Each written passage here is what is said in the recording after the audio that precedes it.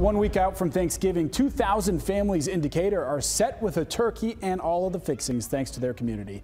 Atlanta News First reporter Madeline Montgomery is at New Birth Missionary Baptist Church in Lithonia where they've been seeing a greater need for help as living costs increase. After hours of standing in the cold, these volunteers are finally wrapping up a successful day of giving 2,000 Thanksgiving meals out. We all have our favorite Thanksgiving dish. Probably the macaroni. But buying even basics right now can be a struggle. Yeah, I just bought a gallon of milk for like $6.75.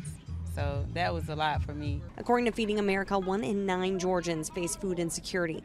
That was seen today at New Birth Missionary Baptist Church when folks started lining up at midnight for free Thanksgiving meals. It's really needed right now. I mean, the work is hard. You know, just trying to be in, surviving as a single parent. really speaks to how deep the need is of food insecurity, and I'm just so grateful that the church is able to provide. The church partnered with Witherite Law Group to make sure each car got a whole turkey, fresh produce, and food to feed a family for a week. No background checks, no check stubs.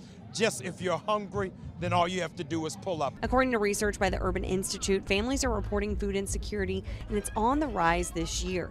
And the American Farm Bureau Federation estimates Thanksgiving dinner will cost 20% more than it did last year because of the inflation we're seeing. the increase is steadily um, keep going up there, unfortunately. But we're here to serve the community. It's a big help, and without having to try to figure out funds from other resources to have a Thanksgiving, you know, what we've been used to in the past. While New Birth Missionary Baptist Church doesn't have events of this scale all the time, they do give out free food regularly. In fact, they do every Saturday morning at what they call the King's Table. Reporting in Lithonia, I'm Madeline Montgomery, Atlanta News First.